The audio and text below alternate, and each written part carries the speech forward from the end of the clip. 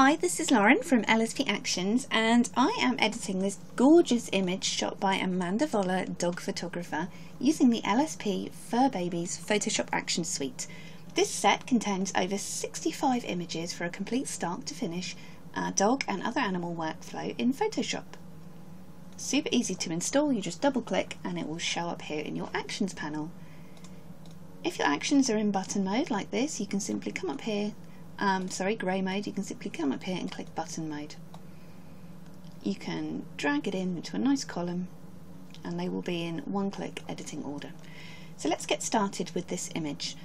Um, before we go, I'm going to make sure I've got my brush selected on white, which is set to normal, 100% opacity and 25% flow.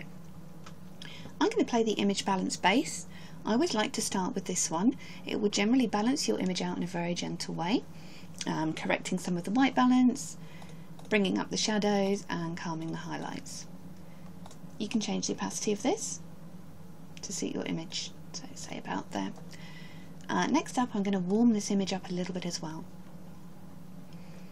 I love this image of this border collie, but you can see we um, where borders are very stark black and white, so the white is kind of blown out and the black is kind of very dark.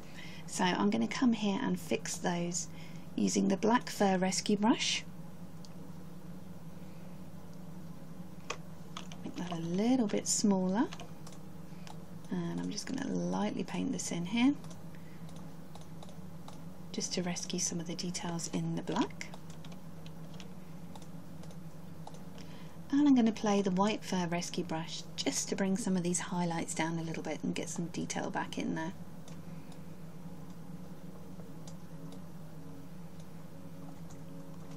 Okay, so now I want to uh, brighten the face, I'm going to play the Brighten Up brush. Make that a little bit bigger to brighten up that little face. And bright eyes as well. So make this nice and small. Just painting that on there to make those eyes pop. If you paint on any way you don't want it to show, you can simply go onto a blank brush. I'm going to play the nose kiss.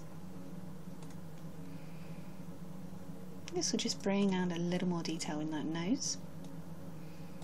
Let's sharpen up as well. Sharpen up these features. And perhaps an extra sharp eyes. This one is just for those eyes. So I'm simply just clicking and painting. So let's see so far before and after. So that's a very natural edit so far going to come here. I don't need to use this mucky pup section where we have cleanup brush, inner ear swab and iron beard whiten. I might come back to these tone brushes in just a moment, but for now I'm going to come down to the Lattice section and I'm going to play the Vibrance brush. And just to bring a little bit more life to these greens and perhaps this background too.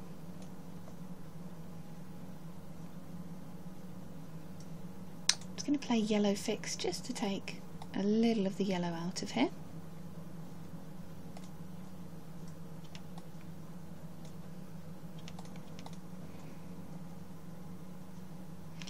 Uh, I'm going to place Painterly Silk Fur Brush. That will really soften the fur up. I'm going to paint this on, uh, making sure I don't go over the eyes because I'd like them to stay really nice and sharp. So let me take this brush down. This will really make the fur pop. And I'm going to use this black brush now to take it off the eye area. Going over these ears. Really strokeably soft and it gives it a real character. So before and after there.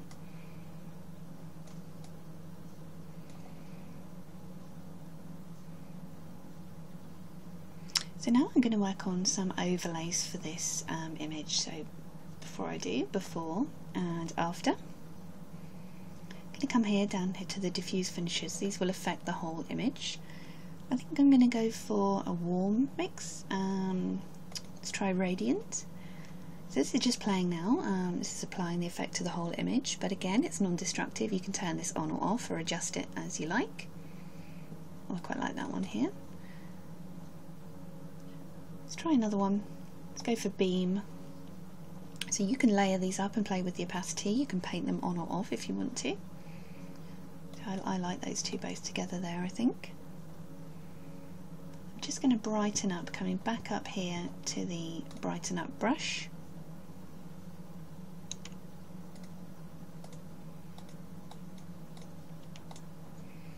And perhaps the gentle darken as well, just to come here.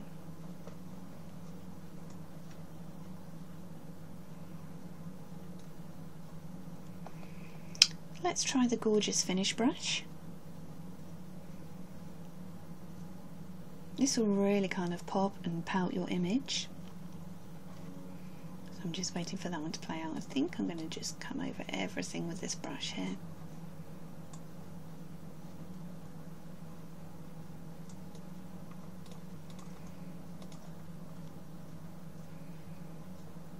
I'm just going to darken that eye down a little as well because I feel it looks a little bit hazy here. So I'm just going to come to this gentle darken brush and just darken down there. Add a little bit of darkness back in. You could try the draw attention brush. Now this one's quite cool. This will kind of darken and add contrast to the whole image and instead of the usual paint on with a white brush you'll notice the action has selected a black brush for you to paint off the effect. So I'm going to paint this off the subject.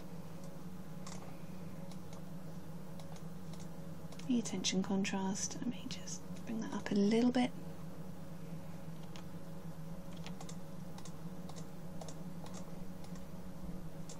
And just take that off there. You'll notice there's a little bit of purple in the fur, that's called fringing. So I'm going to apply the defringe brush. That can happen when you have um, quite a contrast. So I'm going to take that off there. And a little bit here too. Before and after with the difference. I'm not sure if you can see much of a difference with that one, but I can on my screen. And I think I'm going to add vignette in, so I'm going to come down bypassing these other diffusers, which of course you can try them all out. I didn't play the vignette, but I'm going to take this off some of the areas that I don't want to look too dark, so perhaps around here.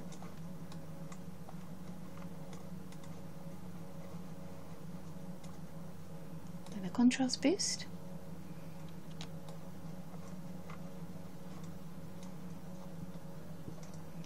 And perhaps one last warm overlay, warmer scene here.